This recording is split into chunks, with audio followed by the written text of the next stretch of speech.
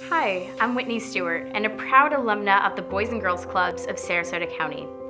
I was also the Boys and Girls Clubs of America National Youth of the Year in 2015. I started going to the Gene Matthews Boys and Girls Club in North Port when I was just 11 years old, when my mother needed a safe place for me and my younger brothers to learn, play, and grow into our full potential while she was at work. I can tell you that the high quality programs and caring staff at the club not only enhanced my life, but saved my life.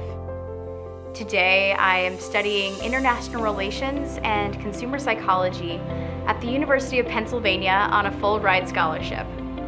I owe a great deal of my current academic success to the skills I learned at the Boys and Girls Club.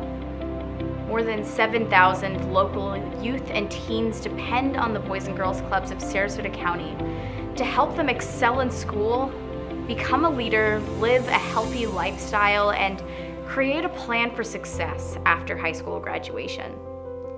I hope you'll resolve to open the door for thousands of children to achieve their great future in 2018, just like the Boys and Girls Club did for me. On behalf of our Boys and Girls Clubs family, Happy New Year.